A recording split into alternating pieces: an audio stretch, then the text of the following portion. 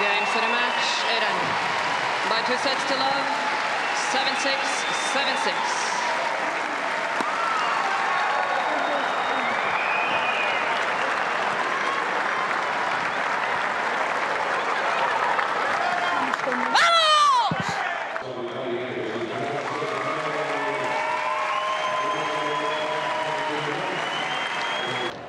Well, Sara, it was a marathon effort. Congratulations. How are you feeling? Well, very tired now, of course. Uh, we play two hour and a half. I mean, uh, Jelena is always a really tough match with her. Long points. It's not easy to close points. She never misses. So, uh, long match, but of course, a really good match for me and really happy.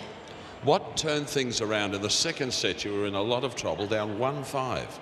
Yes, I had was one five, but was not too much through because many games I was 40 love, 40 15, uh, could be three all and was five one. So I just was thinking to keep there. That the level was there, so it was not too far, and uh, was good.